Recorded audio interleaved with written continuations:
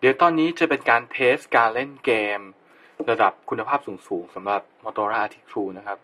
เกมที่ใช้ test เป็น BackStab แน่นอนว่าไม่อยู่ใน list เกมของ EA ที่เป็น free game แถมมากับทาง Motorola a r t i c 2ที่ใช้ตัวนี้ เพื่อให้ทราบแน่ชัดว่า a r t i c 2นั้นสามารถเล่นเกมต่างๆ ได้จริงๆ ไม่ต้องใช้บิวเกมขึ้นมาเป็นพิเศษ เหมือนอย่างที่แถมอยู่ในโปรโมชั่น ลองดูเลยแล้วกันครับ เบื้องต้น ภาพนั้นยังแสดงผลได้ชัดเจนไม่มีปัญหาอะไร เพราะถ้าเกิดเป็นเกมที่เล่นไม่ได้นั้น ตัวพิกเซลตัว frame จะแตกเปลี่ยนไปอีกแบบหนึ่งทันทีเลย อย่างเคสมือถือรุ่นหนึ่งที่ผม test นั้น character ที่วิ่งจะมองไม่เห็นครับ จะเป็นพิกเซลสีเขียวๆแทน จะเป็นอีกแบบหนึ่งดูอย่างตอนนี้ยังเห็นชัดนะครับว่าภาพยังชัดเจนเล่นได้ปกติ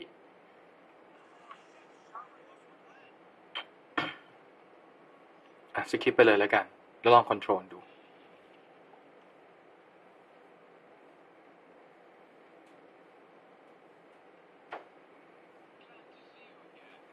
จนถึงตอนนี้เห็นได้ชัดว่าตัวเกมนั้นสามารถเล่นได้อย่างปกติไม่มีปัญหาอะไรนะครับ ภาพยัง smooth อยู่สามารถใส่ command คำสั่งได้เต็มที่สีไม่มีเพี้ยน ไม่มีพิกเซลที่แตก หมายความว่าสำหรับคุณภาพระดับนี้แล้ว มันเพียงพอที่จะเล่นจริง ๆ นั่นแหละ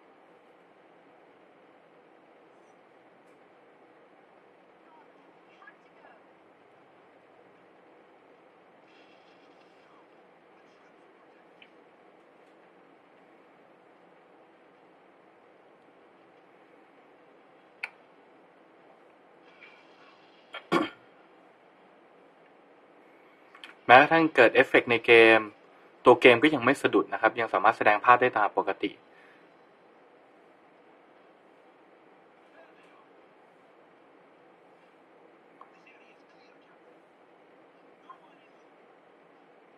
เดี๋ยวลองเข้าโหมดต่อสู้ดูว่าเกมจะสะดุดไหม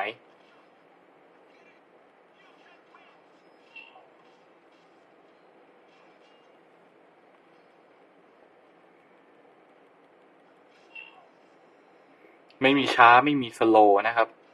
เล่นได้ตามปกติเลย